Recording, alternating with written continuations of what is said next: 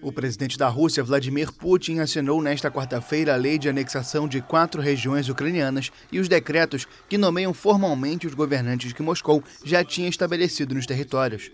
Os textos assinados por Putin determinam que as regiões de Donetsk, Lugansk e Kherson e Zaporizhia são aceitas dentro da Federação Russa de acordo com a Constituição do país. As quatro áreas são parcialmente controladas pelo exército russo e, na visão de Putin, retornam ao país depois da realização dos referendos, muito criticados pela comunidade internacional. Putin presidiu na sexta-feira uma grande cerimônia no Kremlin, durante a qual assinou os acordos de anexação com os funcionários designados para as quatro regiões, apesar das críticas de Kiev e das potências ocidentais.